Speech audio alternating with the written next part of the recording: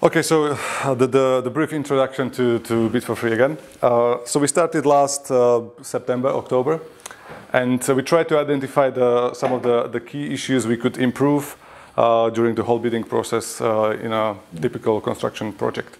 Uh, we worked closely with, with Balfour Beatty, with Neil. We met quite a few people at Balfour's, did some um, market research, if you like, gathered quite a few user requirements. And then the, we identified features we could develop within the time and within the uh, Innovate UK uh, grant, uh, you know, given the time and, and resources.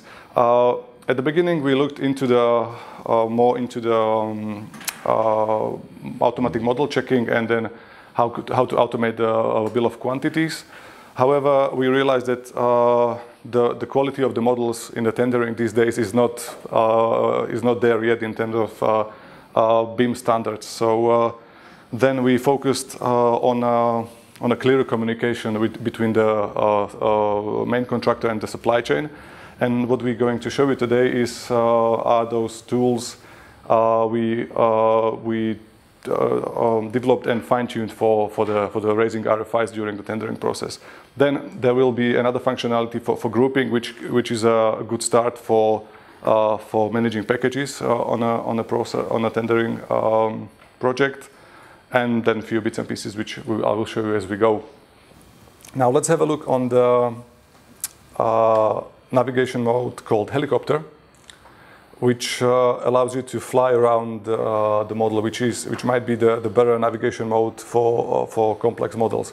So then again, if you hold, uh, press and hold left, left mouse button, you can move uh, back and forth or sideways but you, you're always on, on one level. This, is, uh, this can be actually quite useful. Let me show you. Uh, if you are closer to the building and you want to, let's say, uh, fly just above the, above the roof, then th this could be the way how, you, know, how you can navigate. If you want to adjust your elevation, then press and hold uh, right, right mouse button, and then you can uh, go up and down. So we believe uh, that developing this uh, simply a very powerful uh, tool for, for, for, construction, we can improve the, the communication uh, between uh, various parties. And then uh, once you can communicate clearly, there are less mistakes to be, to be done and uh, you can deliver your project faster or you, know, you, don't, you don't need to value engineer the, the hell out of the project and you can actually build nice buildings, which is matters to me. I'm an architect by trade, so that, that's something I would, I would like to have. Um, okay then, so these are these were the issues. Uh, let's have a quick look on the groups, uh, which I mentioned earlier. Uh, you can also group objects uh, in your model. If you select the group, uh, the uh, the objects are highlighted. So, and this could be something which we could use for um, for for package management, for example. we have functionality probably more relevant to the main contractors than than to supply chain.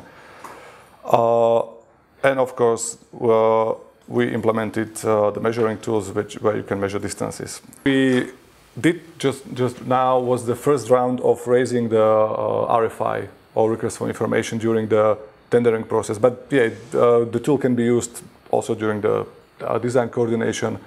Anytime you as a main contractor want to communicate uh, clearly and efficiently with your supply chain, you know, this functionality yeah, works well.